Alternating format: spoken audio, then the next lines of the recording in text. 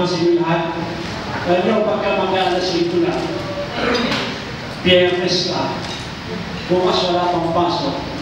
I can fully understand na yung attention span humigit. So what I will do today is I will dispense with the introductory speech kasi naghanda po ako ng konting introduction before my presentation. But because of the time constraint, I will go straight to the subject. Karamihan sa kasabihin mo yan, nasabi yan ni Administrator Amaro. Pero I just put me three. Ang paksa kong pag-uusapan natin ngayong hapon ay ang Philippine Maritime Industry. Yung impact nito sa ekonomiya ng Pilipinas, problema sa ating bansa, impact sa inyo, mga potential seafarers officers, ang impact sa kapalatan. At lalong-lalo na, ano-ano mga sektor ang kumakatawan sa Philippine Maritime Industry. Slide please.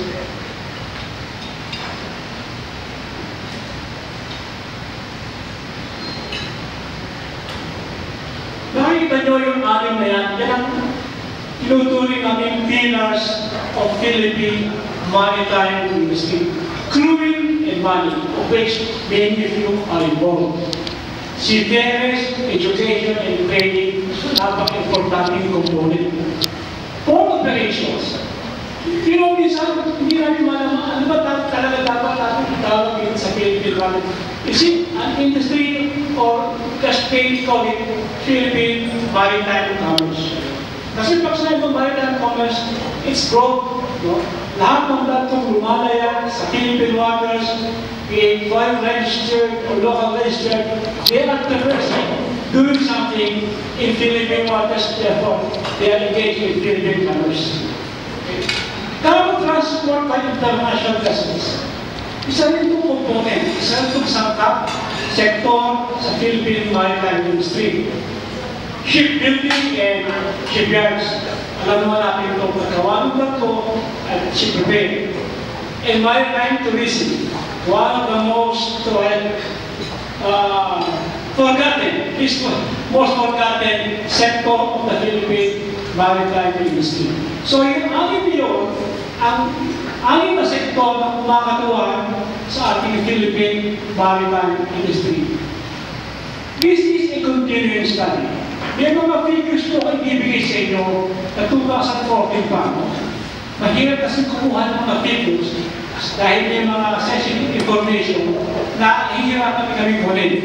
Kaya, nonetheless, miski na 2014 figures ito, it will give you an idea of the present situation.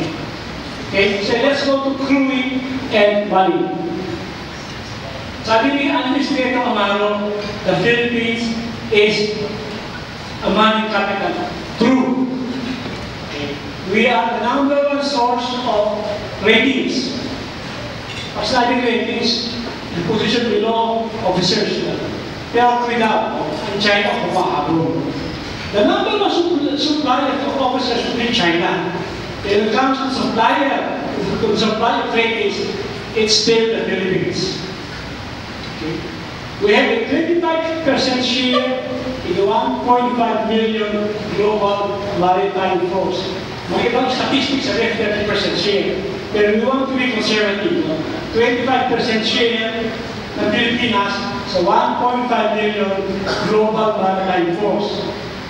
Tawag dito sa mga mga American sea-based migrant Filipino workers.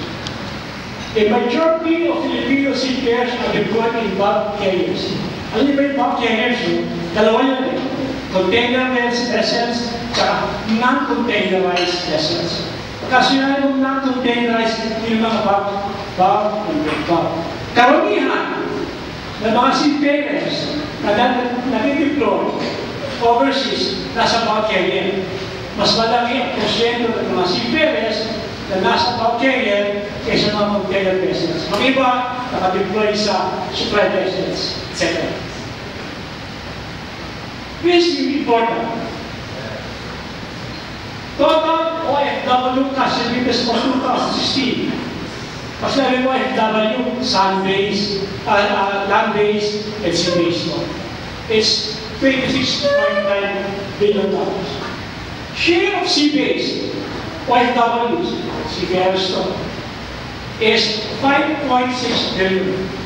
So out of 26.9 billion of contribution ng YFW, mga CPRs natin, mga CPAs, na-complete ng 5.6 billion dollars or 20% of 36.9 billion dollars. Ang contribution ng CPAs o FWs sa 2000 GDP natin, ang GDP ng Pilipinas noong 2016 is 305 billion dollars. Ano percentage-wise, ang contribution ng CPAs o FWs sa ating GDP is 1.8%. Remember, we are talking here of the gross domestic product, equivalent to $305 billion in the year 2016. Pero, despite the GDP growth of 6.8% in 2016, cash remittances of the CPAs uh, OFWs was 3.8% lower than 2015. Bakit?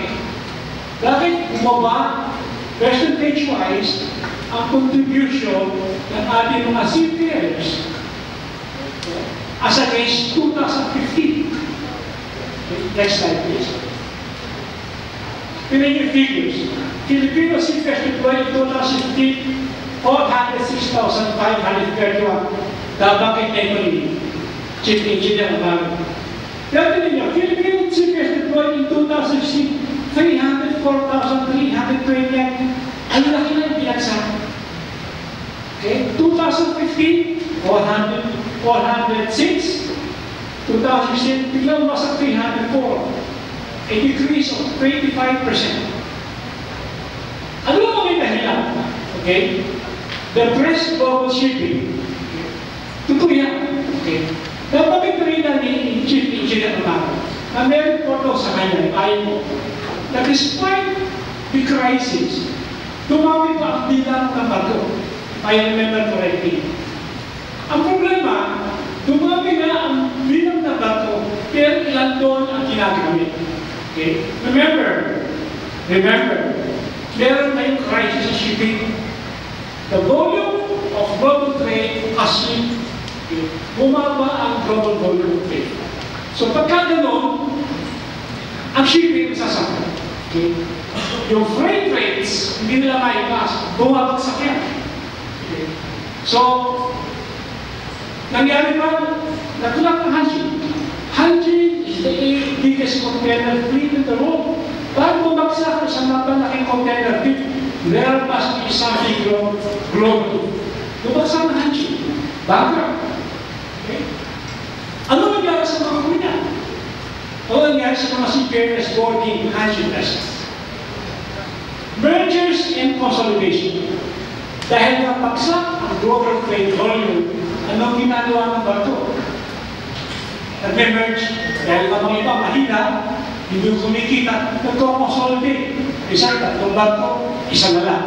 Okay? Pag naging isa na lang ang tatlong bato, what happened to the seafarers that used to board three vessels at any given time? Okay? And still the competition from East Asia and Eastern Europe. When you say East Asia, China yan. China. Eastern Europe, maybe Poland, Hungary, yun lang ako, nagkukumpit sa atin. Look at the figure. Sea-based OFWs versus total OFWs. Ilan ang OFWs in 2016?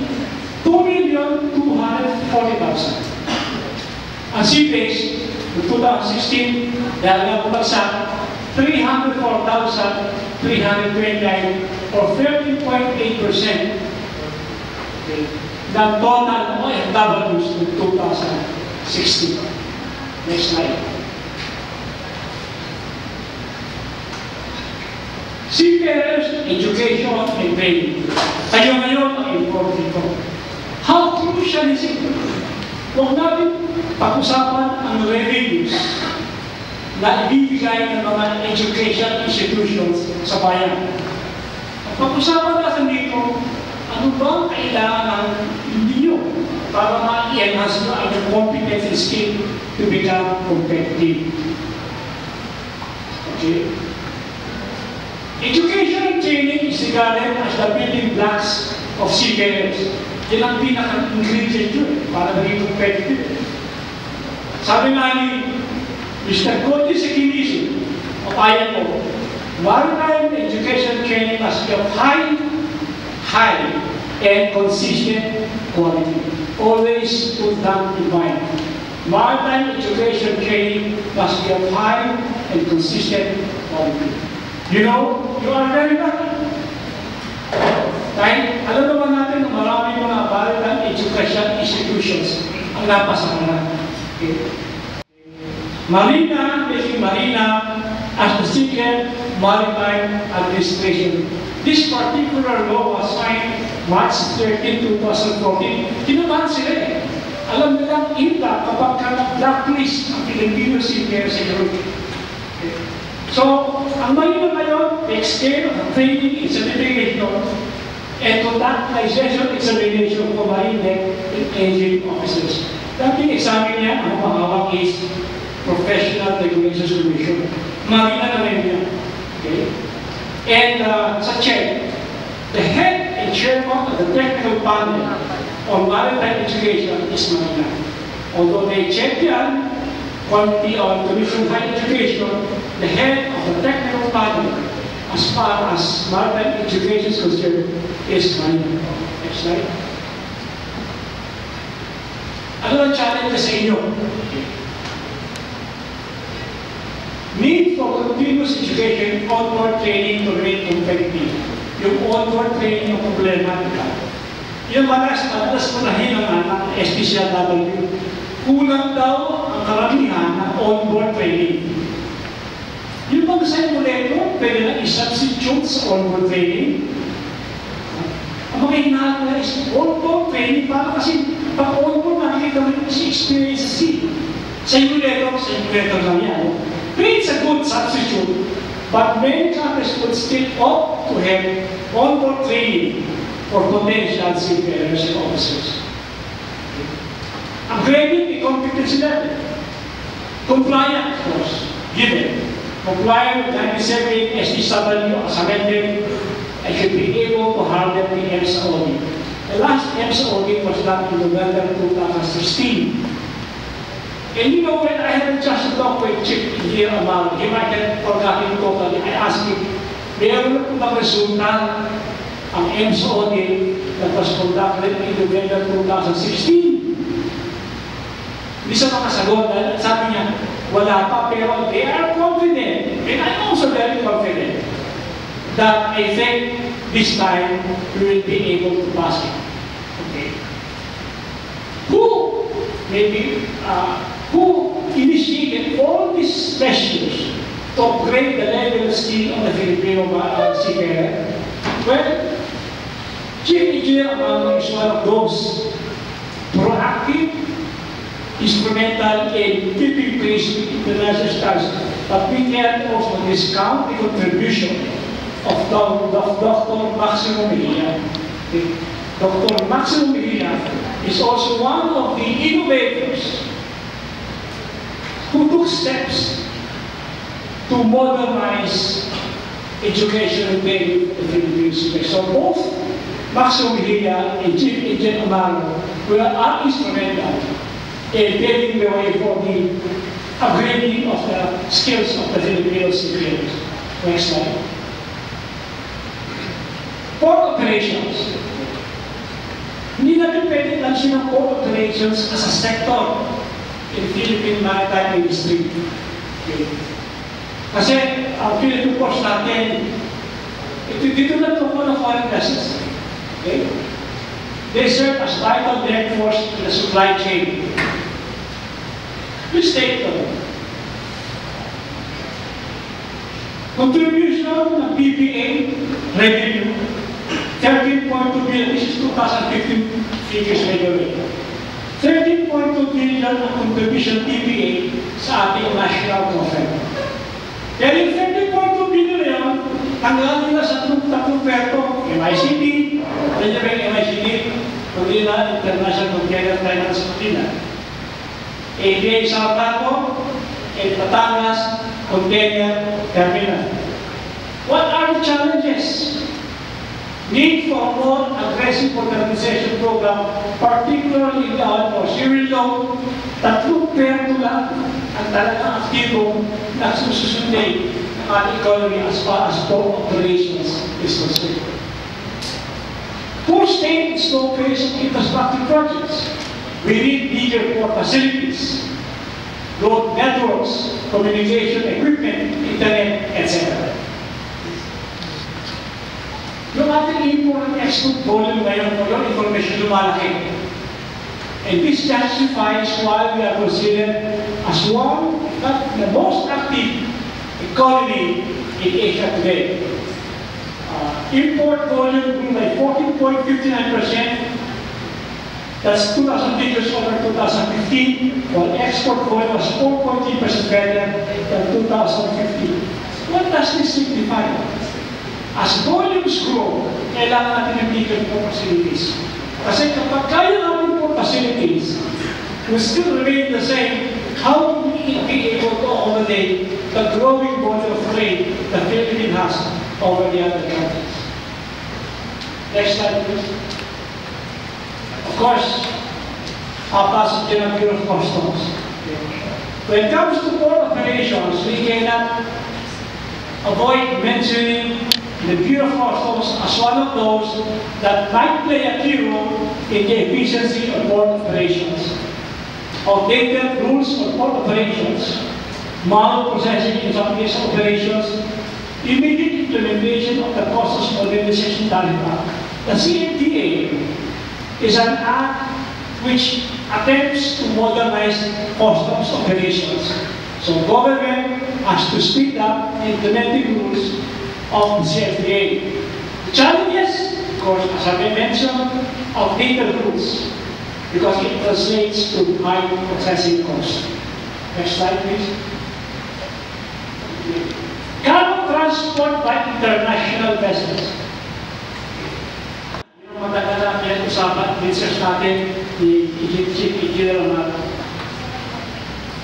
Currently, they're trying to modernize domestic fleet. Nagtabas na sila ng parang memorandum circular on the importation of passenger ships.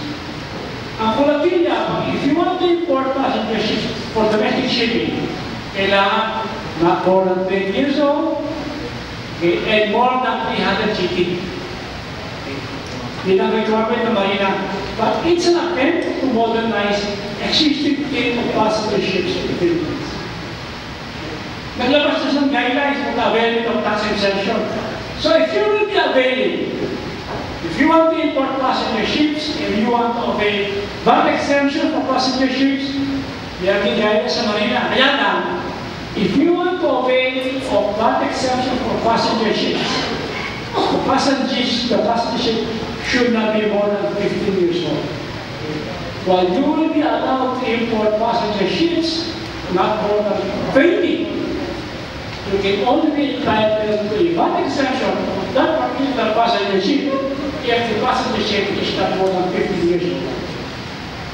Pwede ka mag-import, pero pagka VAT exemption, kailangan magtanong pa sa 50 years old yung passenger ship. Next slide. Ano kailangan natin supportan sa Kongreso? You know, uh, pagka full-fledged marine officers kayo, dati natin experience yan. Pagka may claims ng accident, illness, injury, maraming abogado pupunta sa inyo. May claim kayo against the employer. Kasabi ng abogado, ako nang bahala. Basta, kung nanalo tayo, bigyan mo ako ng 30-40% ng reward i-award sa'yo. So, kapag si Ferrer, kung wala sa ng abogado, ito lumalapit sa kanila, papayag. So, pagka na-award sa kanila, oh, ang monitor sa kanya, siguro 40% bigay na abogado, 60% na lang. E, meron pa siya mga miscellaneous expenses. Kaya minsan mas malaki, kinita ng abogado. Sa kinita, natawa ko si Keren. Under Republic Act 10706, inihinto na yan. it will be illegal for any person to solicit those kind of uh, uh, practices. Ang pwede lang yan i-claim, abogado, is not more than 10% of the total award. Not more than 10% of the total award. Hanggang dyan ka lang, hindi ka mas natin naabuso. House Bill 1278, open pilotage, hindi ko alam kung ano, alam nyo ang ibig sabihin ng pilotage. No? But pilotage, siguro, siguro alam nyo, you navigate the ship safely to the port. Ang problema, ganito, may mga iba umaabuso. Demanding exorbitant charges. Pagka mataas ang pilotage service, ang ibig sabihin isa lang, you are increasing the cost of doing business in the Philippines. May na sa Kongreso, okay? Opening up pilotage services is now open to all who wants to be pilots. So at least magkaroon ng market force. Kung sino pinakamababa, kung sino mas pinaka-efficient, siya ang bahala kung siya kukunin sa course ng mga vessel. Hindi ko ba ngayon, isa na kasi organisasyon na humahawak ng pilotage, kaya they can easily monopolize the rates. House Bill 460. Sa ngayon kasi, yung classification nila siya, there are seven classification societies na nagka-class ng vessel. Pagka pito ang classification society, ano ibig sabihin ito? Eh, nagko-compete siya eh. They compete. So, minsan, oh, kababaan ng presyo. Pero anong quality of service ang nangyayari? Minsan, sama ang kondisyon ng barko, papasa. Kasi they offer the lowest rate, ang, ang problema, they all, they share the lowest yes, sa kayo. So, okay, House Bill 460, isa na lang. Ito, House Bill pala, I want to clarify. Isa pala, ito bill pala, dadakay ito sa mga proseso bago, bago maging isang batas. Pero there is a push to, have, to just have one classification society. House Bill 456 Sa problema ng Pilipinas ngayon is compliance with International Convention, SOLAS, Safety of Life at Sea, signatory na MARPOT, Professional Pollution Position, signatory. Convention of Global, state party. We have not yet fully enforced and fully implemented these conventions. Ang epekto nito, yung international competitiveness. Pag nalaman ng ibang bansa, ang ibang vessel, na hindi tayo compliant, they will shy away from the Philippines. It has influence upon knowledge that we are not compliant with our existing international commitments. Next slide. Conclusion. Okay, uh, as you can see, the maritime industry is one of the major drivers of the economy. With this strategic position, the archipelago provides not only a large pool of qualified technical skilled seafarers, but also highly experienced in the maritime field. And I want, I, I advise all of you to sustain that role, maintain a high level of competence and skill, because that makes you competitive. What structure development, what structure demand for logistic solutions, okay. increase of international import and export commerce demand for transport is projected to rise significantly. The challenges the major sectors of the Philippine maritime industry are not insurmountable. Tayong challenges. As long as there is a prompt and vigorous government action and external support from the other entities. That's all. Thank you.